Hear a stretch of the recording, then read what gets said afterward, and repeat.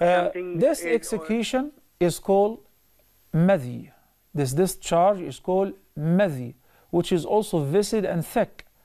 But it is not similar to al-mani with regards to the requirement of performing ghusl. Al-mani, or the semen which is ejaculated as a result of stimulation or sexual intercourse or um, personal stimulation uh, to the point that there is a complete erection and ejaculation, then that's called uh, mani, which requires ghusl. You have to perform ghusl. But your case is called madhi. And al madhi is also a sexual discharge as a result of thinking about, uh, you know, intimacy or whatever. But it is not coming out or poured forth the same way the sexual discharge of al mani is done.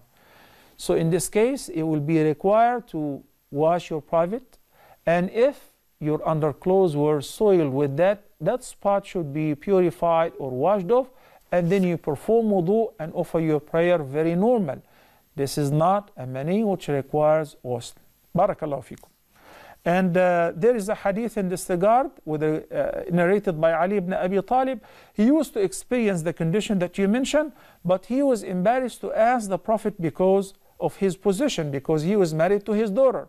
So he asked somebody else to present the question to the Prophet and he said it will be sufficient to perform wudu.